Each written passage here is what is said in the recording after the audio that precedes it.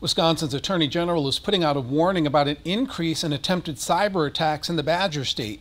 Hackers and thieves spread ransomware through email attachments, advertisements, and through links on websites. If you download the bug, they can hold your information hostage and demand a ransom.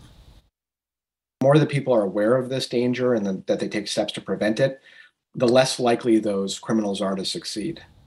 Kaul says the best thing to do is use caution when opening links or emails that don't seem normal. If you are the target of ransomware, do not give in to any demands and contact authorities immediately.